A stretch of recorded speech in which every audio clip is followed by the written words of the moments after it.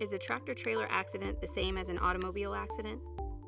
Well, there are a lot of similarities, but there are an awful lot of differences also. Um, not the least of which is the magnitude of uh, damage and carnage that can result from such a massive vehicle uh, being involved in an accident.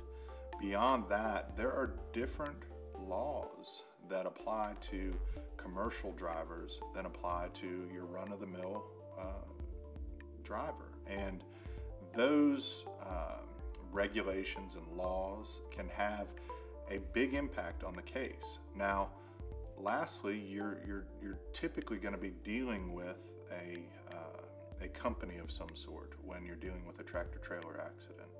Um, they are not uh, typically going to be an individual, uh, run of the mill uh, individual who you know, works a nine to five and drives a tractor trailer to and from work. Uh, so typically your likely defendant is going to be a, a corporate defendant. And um, the types and amounts of insurance that corporations carry versus individual drivers can vary dramatically. So um, the, the short answer to that question is no, they're not exactly the same. There are many similarities, but um, there are many, many important differences as well.